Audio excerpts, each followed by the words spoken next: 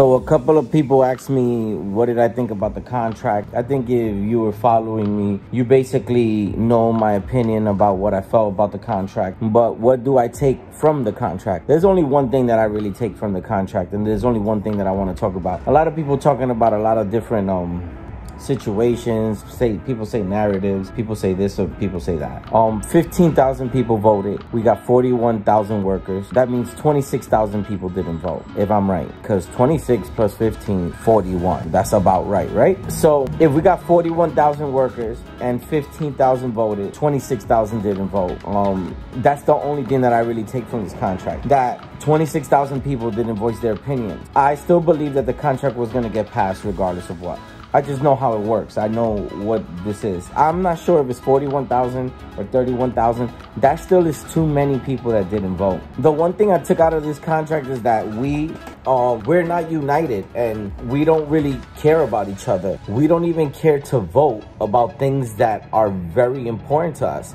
By the end of this contract, we won't still be what cost of living is for a one bedroom apartment in the state of New York at the end of this contract. That's something that the top five, the other five, are already there. So when this contract ends, we still won't be there. So I don't like that, you know? But it doesn't even matter whether you voted yes or no. The What really matters is that you didn't vote. So I brought this up at union meetings. I think we need electronic voting. We're in a modern world. I think we even need um, our meetings because we can't get to them and people don't get to them. I think they should be on the internet. People are going to say that that will compromise things. No, it doesn't really matter. I think that they should have, instead of we meeting in a location the first of the month, they should have that on the internet on something like an application called Zoom that only we can get there if we get a link. And we could all get there at a certain time. You go through the link and then you won't even have to rent these union hall places that you could save the money and use it for something else.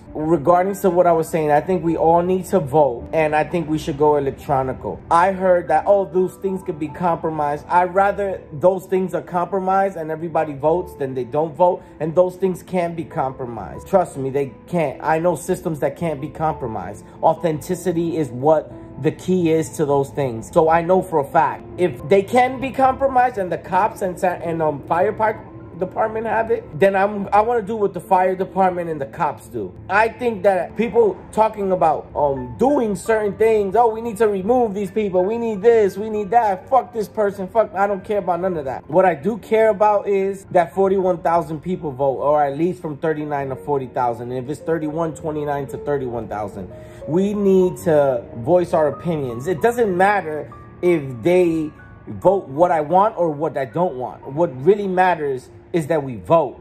I know the older guys are not going to get this. Like, oh no, the union meeting's the first of the month all the time. That's how it's supposed to be. Unfortunately, I'm sorry to tell you, but the internet has changed the world. These platforms opened up. It changed everything. It's time that we evolve with the changes of everything. They clock us in, you know, now, and that's just how it is. Um, we should vote on a on our smartphones. We should vote on our smartphones, on our computers. We need to start new trends of communicating and expressing our and expressing ourselves better. This thing about what your opinion is and if it disagrees with mine, it doesn't matter. Agreeing or disagreeing is something that we need, but um, we need better communication. Simple as that.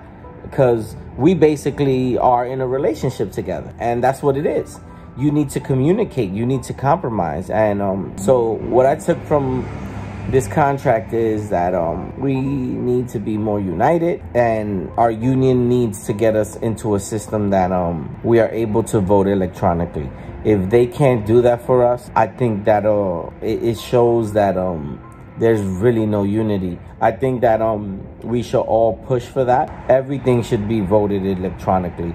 It's just much easier that's how it should be done